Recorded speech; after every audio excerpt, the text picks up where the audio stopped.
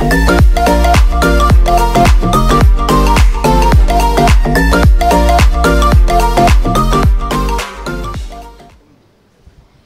காலை வணக்கம். என் பெயர் ஸ்ரீஜனனி பதினோராம் வகுப்பிலிருந்து எனது தோழி கீது ஜெயஸ்ரீ பதினோராம் வகுப்பிலிருந்து. உலகின் முதல் நாசா. அதாவது மீனாட்சி அம்மன் கோயில் தான் உலகின் முதல் நாசா. இந்த கோயில் வந்து சதுர வடிவத்தில் இருக்குது சதுர வடிவம் அப்படிங்கிறது எல்லா பக்கமும் சமமாக இருக்கிறது.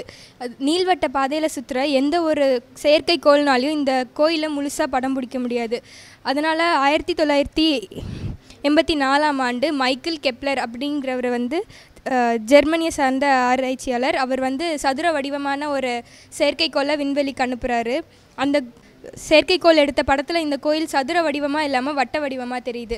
இதற்கு காரணம் என்னென்னா இந்த கோயிலை சுற்றி இருக்க நாலு கோபுரமும் விண்வெளியிலேருந்து வர சிக்னலை எல்லாம் உள்வாங்கி அதை வந்து சாமி இருக்க மொட்டை கோபுரத்துக்கு அனுப்புது.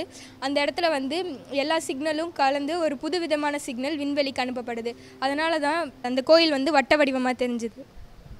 இந்த கோயிலில் நாயன்மார்கள் கட்டின ஆயிரங்கால் மண்டபம் உண்மையாகவே தொள்ளாயிரத்து அறுபத்தைந்து தூண்களால் ஆனது தொள்ளாயிரத்து அறுபத்தைந்து அப்படின்றது அப்படின்ற எண் வந்து விண்வெளியில் தவிர்க்க முடியாத எண்.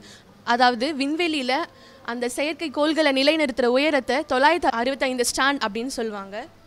அந்த கோயிலில் இருக்க பொற்றாமரை குளத்தில் வந்து அமாவாசை பௌர்ணமி இரண்டு இரவுகள்லையும் ஒரே அளவு நிலவு வெளிச்சம் இருக்கும். அப்புறம் இந்த கோயிலில் இருக்க நூற்றி எட்டு லிங்கங்களும் அறுபத்தி மூணு நாயன்மார்களோட சிலைகளும் விண்கலத்தோட வடிவத்தில் இருக்கும். இந்த கோயிலில் இருக்கக்கூடிய பாதாள பைரவர் சன்னதியிலேருந்து போகக்கூடிய சுரங்கத்திலேருந்து ஒரு கல்லை எடுத்து பெரிதுபடுத்தி பார்க்கும்போது அந்த கல்லில் இருந்த வரி வடிவங்கள் அச்சு அசலாக ராக்கெட்டுகளின் சர்க்கியூட் பேனல்கள் போலவே காட்சியளிக்குது. அப்புறம் இந்த கோயிலில் இருக்கக்கூடிய தட்சிணாமூர்த்தி முக்குருணி விநாயகர் சன்னதி எல்லாமே விண்வெளி வீரர்கள் அமரக்கூடிய சாம்பர்கள் மாதிரி தோற்றமளிக்குது.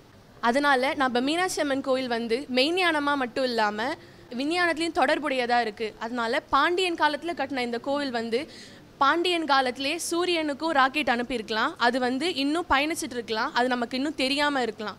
அதனால் இதுதான் உலகின் முதல் நாசா அப்படின்னு மைக்கேல் கெப்லர் எழுதி வைக்கிறாங்க. நன்றி வணக்கம்.